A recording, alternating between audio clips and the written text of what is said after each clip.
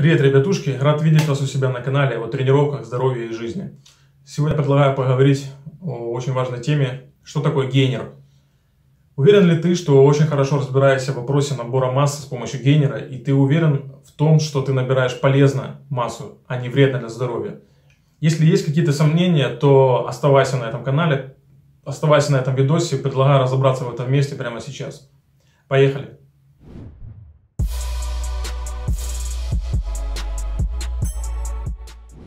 Так вот, чтобы рассказать, что такое гейнер, и как правильно его применять, и как его выбирать, как правильно покупать, какой именно гейнер тебе нужен, и чтобы понять, что есть разные типы гейнеров, то нужно рассказать все с самого начала, самых основ.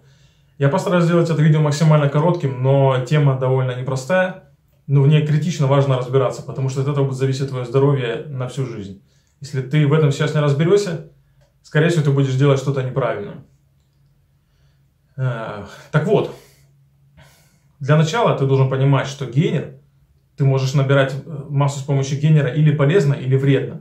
То есть набрать вес можно по-разному. Можно набрать вес так, что ты останешься здоровым и будешь дальше процветать, будешь становиться еще более здоровым. А можно набрать вес так, что ты будешь э, потеряешь свое здоровье. Так вот, чтобы разобраться в этом, нужно понять, что такое вообще сахар, что такое углевод и понять, что генер – это углевод. То есть, если ты хочешь набирать массу, то тебе в твоем наборе веса более важно получать углеводы, чем белки. То есть, ты просто должен получать адекватное количество белков, но углеводы в твоем рационе играют ключевую роль. То есть, там должны быть жиры, примерно 10%, примерно 25% белков и примерно 75% жир, углеводов для набора массы. Так вот, вот эти углеводы, которые и дают тебе возможность вообще набрать вес. Не белок. Белок лишь помогает строить правильно все клетки в организме, чтобы организм хорошо готовил, э, чтобы организм хорошо работал. Но углевод, он как раз и создает тот энергетический запас, который, если у тебя его больше энергии, чем ты потратил, тогда ты начинаешь набирать вес. То есть энергия – это углеводы. Это, это в основном это не белки. Из белков тоже может организм получать энергию, но скорее он даже тратит энергию, чтобы расщепить твои белки, которые ты пищу получаешь. То есть, если ты получаешь белки, ты должен знать, что должно быть достаточное количество углеводов, чтобы эти белки усвоить. И эти углеводы, которые ты получаешь, их тоже должно быть очень много, чтобы ты вообще начал набирать вес. То есть, если сейчас, допустим, ты не набираешь вес, если ты, или ты даже худеешь, скорее всего, то в твоем рационе мало углеводов, мало правильных, хороших углеводов. То есть, белки должны быть в норме но углеводов должны быть больше, чем тебе нужно на сегодняшний день. То есть ты должен увеличивать углеводы до тех пор, пока ты не начнешь набирать вес. Когда ты начнешь набирать вес, найдешь эту точку, при которой ты стабильно набираешь вес. Допустим, раз в месяц ты набираешь вес, раз в месяц ты просто поддерживаешь вес. Я такую примерно схему тебе предлагаю. Набирай вес примерно 3 килограмма в месяц. От полутора даже до 3 килограмм в месяц. Не надо быстрее набирать вес. Мой результат это 3 килограмма в месяц. Но это результат на креатине, и это результат, который у меня закрепился после этого месяца, он не ушел. Я набрал где-то 3,5 килограмма на креатине и на нормальном количестве углеводов. То есть 3 килограмма на креатине реально набирать. Но без креатина, если на, просто на загрузке хорошими углеводами, примерно ориентируйся на полтора, два, два с половиной, ну 3 килограмма это нормально, это норма. Вот примерно на такую скорость набора. То есть месяц ты набираешь, месяц ты не набираешь вес. Углеводы. Углеводы критично важно получать правильные, полезные для здоровья, которые будут тебе делать здоровым человеком. Итак, из чего же состоит в основном гейнер? То есть, э, я хочу, чтобы ты понял одну мысль. Когда ты начнешь набирать вес с помощью гейнеров, допустим, или просто углеводов, до любых других, ты, когда ты начнешь набирать вес, тебе нужно просто начать набирать вес и остановиться, не добавлять больше углеводов. Это может примерно быть профицит. Профицит это слово означает, что калорий больше, чем тебе нужно.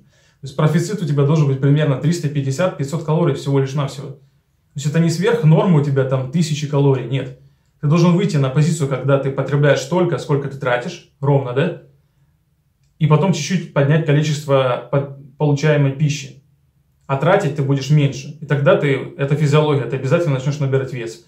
Если ты его не набираешь, когда у тебя углеводов больше, чем ты тратишь, значит, нужно задуматься о своем пищеварении. Возможно, есть какие-то проблемы с ферментами возможно, с гормонами. Возможно, ты плохо спишь, из-за этого проблемы с гормонами. То есть нужно наладить свой сон и наладить тогда гормональный статус свой.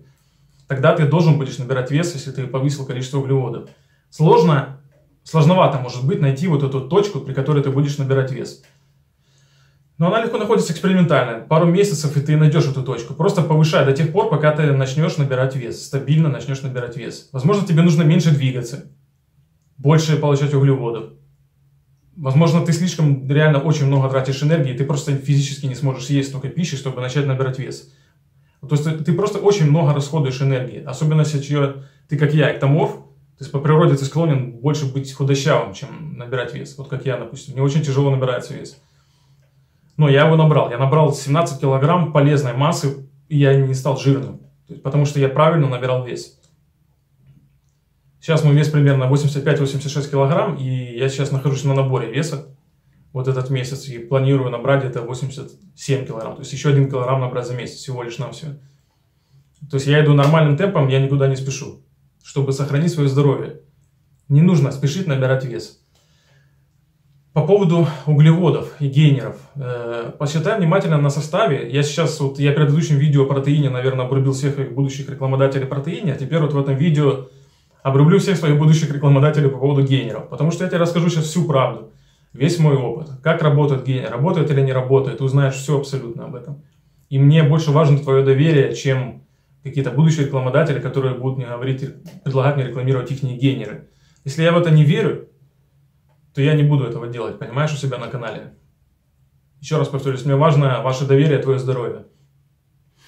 Так вот, если ты почитаешь состав внимательно на генере, на упаковке, что там написано, вот просто там написано в основном на английском, а я тебе рекомендую брать зарубежные генеры, если ты все-таки будешь их покупать.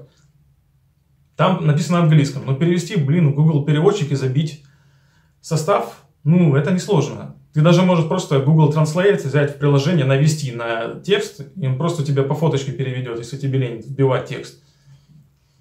То ты внимательно почитай состав, и там будет написано, что в основе лежит мальтодекстрин. Что такое мальта? Маль, ну, сокращенно мальта, мальтодекстрин. Мальта это патока еще может быть. Это простой сахар, это моносахарид. Простой сахар, моносахарид или же простой углевод. Еще его называют быстрый углевод. Это все одно и то же. То есть простой сахар, чем более простой сахар, тем он быстрее усваивается организмом, и тем больше он вызывает скачок инсулина в твоем организме, чем вот обычный сахар, который в чай ты ложишь, конфетки шоколадные, э, мука, мука белого цвета, первого сорта, макароны из этой же муки сделаны. Вся, вся крупа, которая слишком измельченная, и, в которой, и которая белого цвета, в которой нету примеси клетчатки, то есть шелухи с пшеницы. Это все есть простые сахара. Я сейчас не буду объяснять сильно много об этом, потому что это отдельная тема. Просто сейчас дам базу. Так вот, вот эти простые сахара, мальтодекстрин, это простой сахар. Если ты таким будешь загружаться способом, это очень огромное количество калорий, там очень много калорий. Но если ты загружаешь свой организм такими калориями, ты вызываешь просто бешеные скачки инсулина в своем организме. Когда ты выпиваешь такой коктейль, такой гейнер, то выделяется огромное количество энергии, действительно огромное. Но эта энергия она может пойти на набор веса, обязательно пойдет, но она скорее пойдет у тебя на... Вот если ты эктоморф, возможно, возможно даже и ты не будешь слишком жирный, но ты будешь более склонен к жирноте, чем к набору нормального здорового веса. Если, если на генер, ну на генер не садится человек, который и так с лишним весом. То есть обычно садится на генер тот, кто явно худощавый, да? который, человек, который хочет набрать вес. Так вот, ты можешь набрать реально вредного веса, жира набрать можешь. Потому что вот этот сахар, который простой, он как раз и будет идти в основном на какие-то жировые отложения. То есть ты реально можешь быть эктоморфом, который будет жирный, например, в области живота там, или, не знаю, щеки какие-то себе наешь непонятные. Это те калории, которые организму не нужно получать, такие калории. Так много. Организму, особенно мозгу, нужны простые сахара. Нужен этот углевод простой. Но норма сахара в день, вот просто запиши себе где-нибудь или запомни, 5-6 чайных ложек сахара в день. Все, это та норма, которую организму будет достаточно. Он получит с других, э, с тех же круп, например, получит э, себе нужные углеводы. Простых сахаров ему достаточно 6 ложек чайных в день. Вот теперь подумай, когда ты покупаешь себе генер, когда ты его пьешь 2-3 раза в день, разводишь себе генер, сколько ты получаешь сахара с каждой порции? Ты получаешь неимоверное количество лишнего сахара. И к чему это приводит? Есть такая печальная статистика, что такая непопулярная тема, да, просто по гугле узнай, как, сколько сейчас людей болеет диабетом. диабет второго типа. То есть это когда у тебя организм, когда ткани тела, ткани тела, они называются еще клетки мишени, ткани мишени. То есть есть гормон инсулин, который вырабатывается, когда ты слишком, когда ты, не когда ты слишком, когда ты просто сахар потребляешь. Вырабатывается инсулин, гормон поджелудочной железой. И этот гормон нужен для того, чтобы твои ткани начали воспринимать сахар. То есть он бьет по этим тканям, этот гормон, скажем так, клетка мишень это ткани. И ткани с помощью этого гормона начинают воспринимать этот сахар. И если ткани чувствуют твой инсулин нормально, то есть они восприимчивы к этому гормону, то все происходит замечательно. Но ты будешь набирать вес. Но вот если ты начнешь слишком много этого делать, сахара, тогда твои ткани могут перестать чувствовать нормально гормон инсулин. Вот это и называется проблема сегодняшней современности, что у людей очень много приобретенного диабета. Причем это вообще болезнь раньше была пожилых людей. Теперь это болезнь молодых людей. Более того, уже даже дети начинают болеть этим. Это очень плохая статистика, и об этом мало говорится. Реально очень много людей болеет диабетом второго типа приобретенного. Если твой организм так разладился, с этим можно жить, можно подстроиться под это, но это уже на всю жизнь. То есть потеряно здоровье на всю жизнь. У диабета второго типа очень много побочек, много чего э, связано будет проблем со здоровьем. То есть будут... Это проблемы с заживлением ран, это э, может быть постоянная жажда какая-то, это постоянная сухость во рту, это реально быстрая утомляемость, это проблемы с сосудами, то есть это куча последствий. Ты можешь просто узнать, погуглить, что такое диабет второго типа. Это болезнь метаболизма. Вот этот метаболизм, обмен вот этих углеводов, если ты не понимаешь этой сути, то ты будешь гробить себя этими конфетами, этими генерами. Генер – это простой сахар. Производитель просто не, ду- не доверяет, что производитель настолько все продумал, ему так важно твое здоровье, что он будет думать об этом. Это всегда бизнес. Э, есть хорошие нормальные генеры. Я, я перепробовал их кучу. В свое время, это было давно. Скажу сразу, я набрал свой вес, свои 15-17 килограмм, вот эти я набрал натурально, и я набрал их без помощи генеров. Я их вообще не использовал. И не использую по сей день. Я нашел нормальный генер на рынке, который делается не из мальтодекстрина, а который делается на основе овсяной муки. То есть овсянка обычно берется, перемалывается, и это тоже углевод, но это сложный углевод. Если в ней есть шелуха, это сложный углевод, то есть она более коричневого цвета. Так вот, вот такой гейнер, который был сделан из такой муки, овсяной муки, он стоил очень дорого, реально очень дорого. Самый дорогой, что был гейнер вообще на рынке. Я купил, потратился, там коробка такая эпическая, там трехкилограммовая пачка. И это был нормальный гейнер. Но вопрос возникает. Я расскажу тебе дальше, почему бы не сделать самому такой гейнер. Я тебе расскажу об этом дальше. Так вот, этот сахар, который Э, содержался в этом генере, он был сложный сахар. Сложный сахар – это полисахарид. То есть поли, когда молекула более сложная. Это сложный сахар, это медленный углевод, это все одно и то же. Это сложный углевод, это медленный углевод, это сложный сахар, это полисахарид. Вот называют как хотят. Все это, но вот смысл один и тот же. То есть молекула более сложная углевода, следствие этому она расщепляется более долго в твоем организме, постепенно насыщает твой организм углеводами и энергией. То есть там тоже много калорий, но эти, эти калории поступают более медленно в организм. И это ключевой фактор. Это не вызывает такой огромный скачок инсулина. То есть инсулин тоже возрастает, когда ты сложные углеводы потребляешь. Он тоже скаканет у тебя. Это неизбежно, это тоже углевод. Просто это происходит не так быстро, не так резко, а более плавно и более длительно во времени. И организм нормально все это усваивает, и он получает полезную энергию ту, которая тебе нужна нормально, чтобы жить, нормально, чтобы двигаться, просто наслаждаться жизнью, тебе нужна энергия. Так вот, если ты дашь этой энергии больше, чем тебе нужно, ты начнешь неизбежно набирать вес, это физиология. Если что-то не так, попробуй задумайся о ферментах. Есть на рынке, в аптеке продаются ферменты, попробуй месяц покурсить, посиди на этих ферментах. Можешь э, даже покупать э, ферменты, которые именно для углеводов. Ну, я, я бы посоветовал брать все-таки э, комплексные ферменты, которые будут работать и на жиры, и на белки, и на углеводы. Они недорого стоят, попробуй, например, месяц на них посиди, месяц не сиди. Потому что любые ферменты, гормоны, получаемые извне, они притупляют твою собственную выработку. Это естественно, так должно быть. Это базовая физиология. Так вот, попробую такой моментик еще в своей, в своей практике. Итак, Отсюда следует вывод. Ты уже сейчас знаешь очень много на эту тему, вот на данный момент на этом видео. Ты не должен употреблять простые сахара практически вообще. 7 чайных ложек, 6 чайных ложек, 5 чайных ложек в день. Все. Этого достаточно. То есть нужно убрать его по максимуму везде. Убрать из чаев, меньше ложить его в, там, в кофе, например, не знаю, меньше пирожен, меньше сладостей, меньше булок из белой муки. То есть если это булки, булки это тоже гейнер, по сути. Только булки надо брать не из муки высшего сорта, а из муки, например, второго сорта. Или вообще ржаной хлеб бери.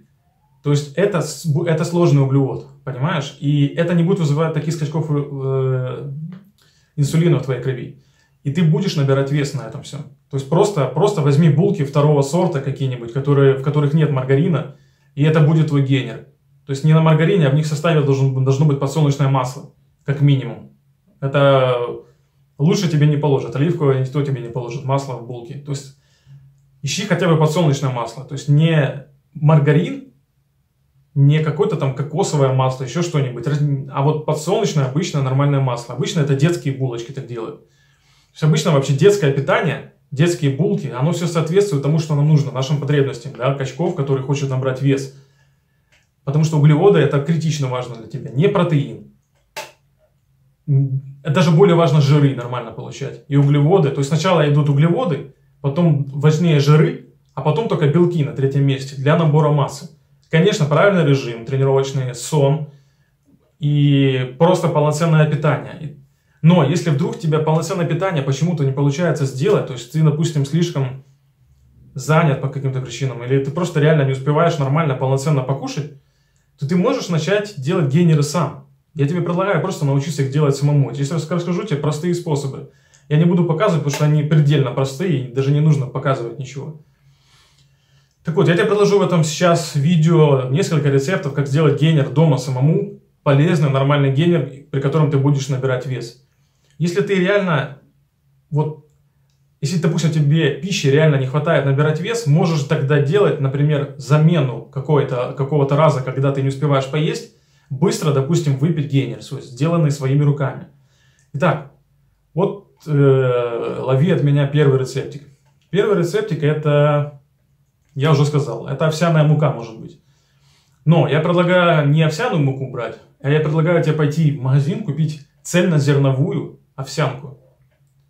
Вот ключевой фактор, э, понимаешь, каждое слово, которое я говорю, оно важно. Цельнозерновую овсянку. Не простую, не простые овсяные хлопья, геркулес. Это не катит.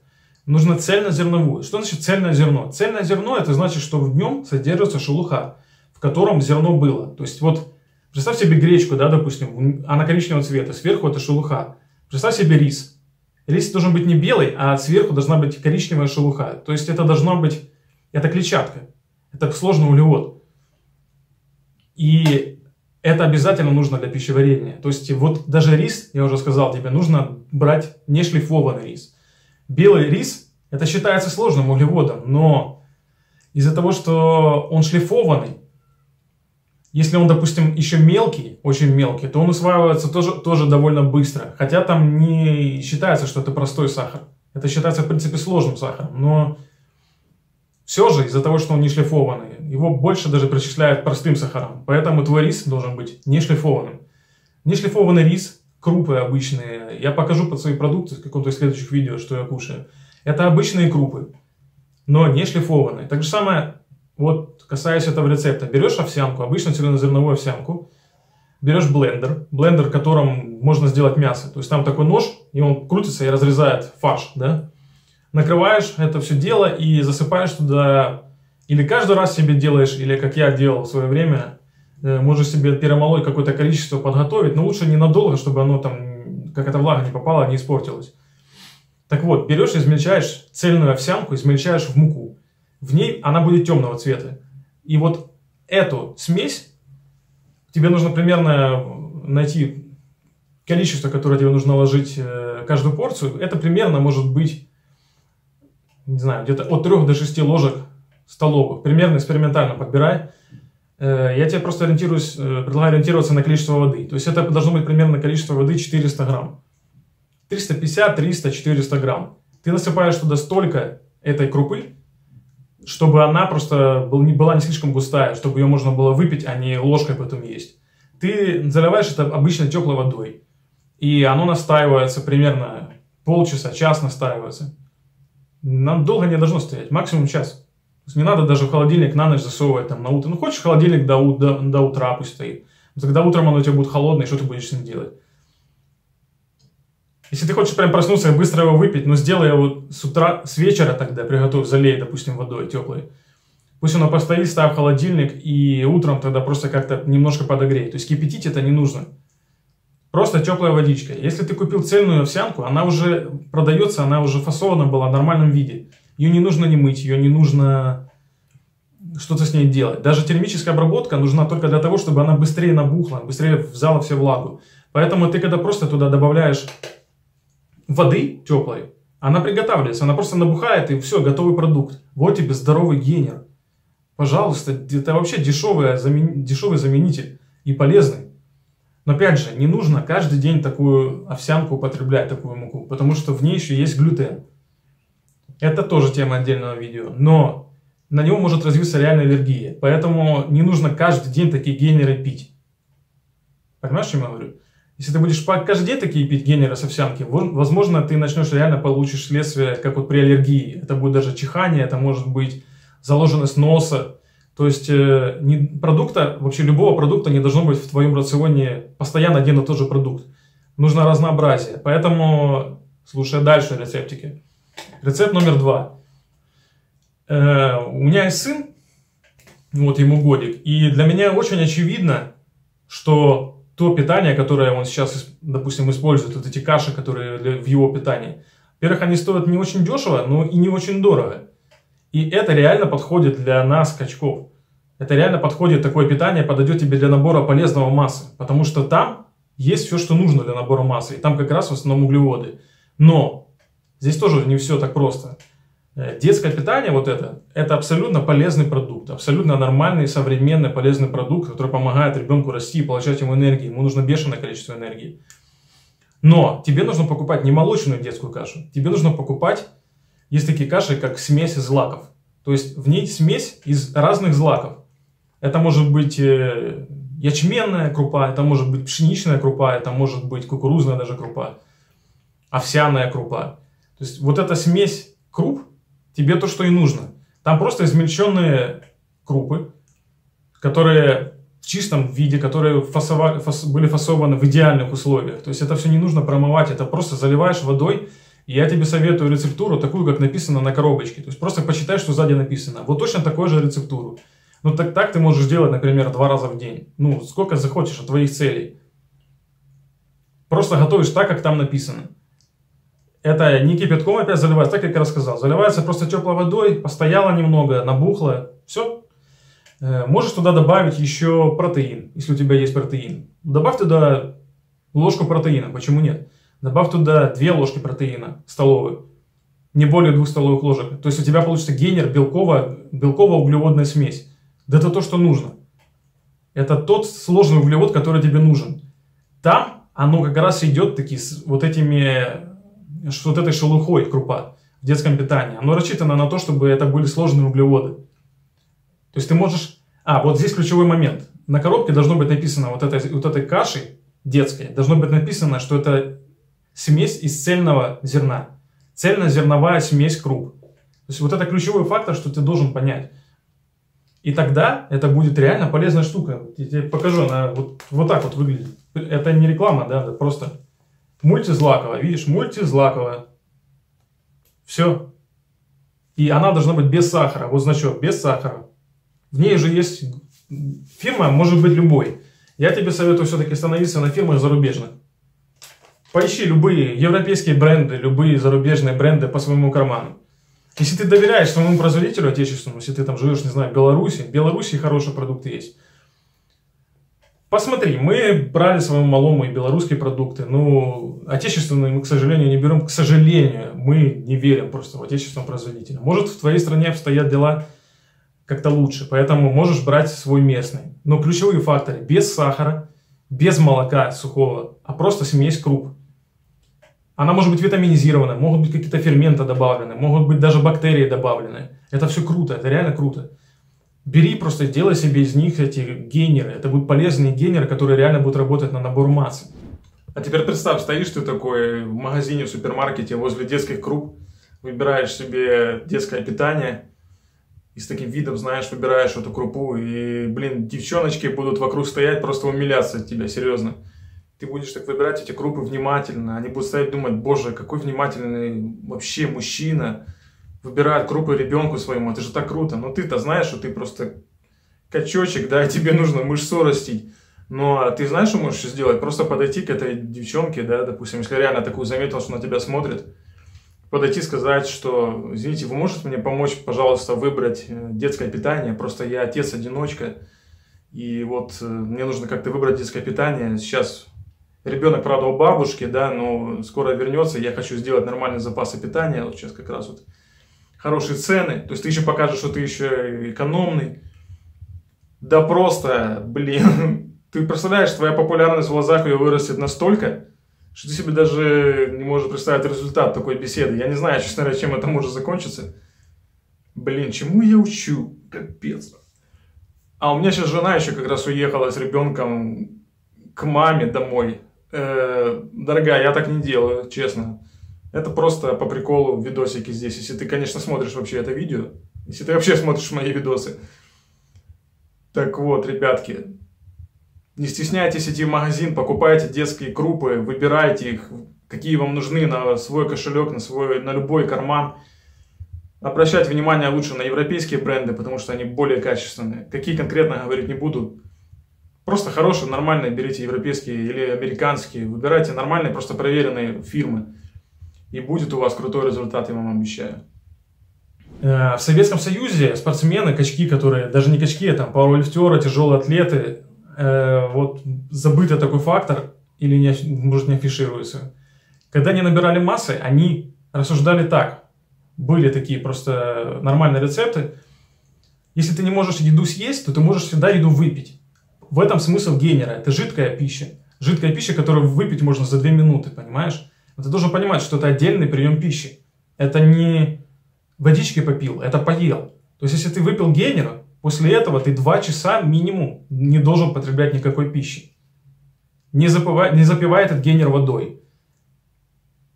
Вот сделал гейнер, выпил его, и все. Следующие 2 часа ничего не ешь. Это моя тебе большая рекомендация. Не делай это... Не пей гейнер сразу после еды. Не надо пить гейнер до еды. То есть, это отдельный прием пищи. Считай, что ты просто его заменяешь обычную еду, да, если ты по каким-то причинам не можешь есть нормально. Но всегда лучше питаться просто обычной едой. Если ты, допустим, достиг уже какого-то крутого результата, и ты реально хочешь добавить себе, ну, пожалуйста. Это будет полезный набор массы. Так вот, вот эти качки, они в жидком виде потребляли пищу. То есть они реально, они были такие рецепты, когда, например, рыбу в жидком виде рыбу пили смешивали, я, честно не знаю до конца этот рецепт, но то есть я знаю, что в основном состав был рыбный. Рыба в жидком виде, перебита как-то там в блендере тоже или в миксере. То есть это, блин, это жестяк вообще, рыбу в жидком виде пить. Я не думаю, что это супер вкусно было, ну не знаю, может быть даже и вкусно, если по каким-то рецептурам сделать. Ну то есть смысл в чем? Пищу потребляли в жидком виде и набирали тем самым вес. И, блин, и мужики были очень здоровы в то время. У меня вот дед тяжелой атлетикой занимался, и он такие веса тягал что-то невероятное. Реально, и это было натурально. Вот именно в те годы, когда вот мой дедушка, ему сейчас 85 лет, когда он в молодости был, это было 60 лет назад, тогда, вот тогда реально это был натуральный нормальный спорт. Никто из них не потреблял химию, не, даже не знал, что это, и его просто не было ее, понимаешь? Она появилась чуть-чуть позже, уже, не знаю, там, во времена Арни и так далее. Великого Арни, да? Так вот, используй вот такие генеры для своего набора, это будет полезный набор массы. Когда, в какое время суток лучше их использовать? Можешь его использовать любое время суток, кроме ночного. То есть я тебе советую не есть его ночью, такие генеры, не используй такие генеры перед сном. Ни белково-углеводные смеси, ни генеры. Перед сном лучше есть белковую пищу. Лучше съесть творог, творог с протеином, например, то есть белковую пищу на ночь, чтобы гормональная система хорошо работала и получала нужные белки ночью. Потому что организм строит все клетки, которые ему нужны, в основном строить ночью. Ему для этого реально не столько нужно энергии, потому что ты лежишь, ты не двигайся. Тебе ночью нужно больше белков. Энергии тратится минимальное количество. Э, энергии тратится ровно столько, сколько нужно, чтобы расщепить твои белки. Примерно так. И какое-то минимальное необходимое количество, чтобы все работало в твоем организме. То есть в основном это белки на ночь. Углевод может быть, например, если ты прибежал с тренировки и у тебя почему-то нет времени поесть, тогда идеальным решением будет вот такой углеводный белковый коктейль. То есть тогда тебе нужен не только углевод, а нужен углевод плюс белок. Сторонники так называемого раздельного питания, я абсолютно в эту идею не верю, потому что вот именно разделение белков и углеводов. Потому что белок, чтобы усвоился, ему нужен углевод. В любой крупе содержится и белок, и углевод. В любой каше содержится и углевод, и белок. Это естественно. Это естественное положение дел. И каша, если ты съешь одну кашу, она реально хорошо усваивается. И если ты съешь кашу с котлетой куриной, или там телячьей котлетой, это будет тоже твой генер. Но если ты не успеваешь такую еду поесть, ты не можешь приготовить. Выпей тогда просто генер с белком. Смешай с протеином этот генер и бежи на работу, там, не знаю, занимайся своими делами. Или на учебы, да. Ну, реально я понимаю. Или в школе ты учишься, например, и тренируешься. Школьное питание это вообще, не знаю, как там у вас в городах. По-моему, школьное питание вообще нормально полностью отсутствует у нас. И это не прикольно. Если ты тренируешься в школе, в принципе, с 15-16 лет можно уже полноценно тренироваться то есть это школьный возраст, тогда просто, возможно, тебе нужно делать такие генеры. Но только ты должен знать, что вот такой генер хранится, в принципе, неплохо. Он может полежать даже пару часов. То есть ты можешь залить водой и бежать по своим делам с таким генером просто в баночке, в шейкере, да? Ты дома приготовил, я советую смешивать это все блендером, смешивать такой генер. Не шейкере потрясти, а блендером нормально перебить. Если ты добавил туда протеин, круто, добавил туда протеин, бежи, допустим, по своим делам, 2-3 часа такой генер будет храниться. Но если там есть протеин, то он будет храниться полчаса, потому что сывороточный протеин начинает пропадать уже через полчаса. И с этим ничего не поделаешь. То есть протеин нужно выпивать в течение получаса после готовки, а генер может лежать и 2-3 часа. Но если там протеин, то тоже полчаса. То есть ты должен это учитывать. Скорее всего, взять с собой куда-нибудь в школу или на пары, там, не знаю. Лучше взять с собой просто генер, без белка. А белок выпить, например, утром рано. Проснулся, сделал себе генер, сделал себе в него, добавил белок и выпил. Идеально будет после пробуждения. Но только это уже полноценный завтрак. Я, например, делаю как? Я просыпаюсь, я выпиваю протеиновый коктейль с креатином. Вот сейчас. Потом я через 45 час, 45 минут, час только ем. Ем уже какую-то крупу. То есть это тоже углевод. Это или овсянка, или греча с утра. Вот такой у меня завтрак.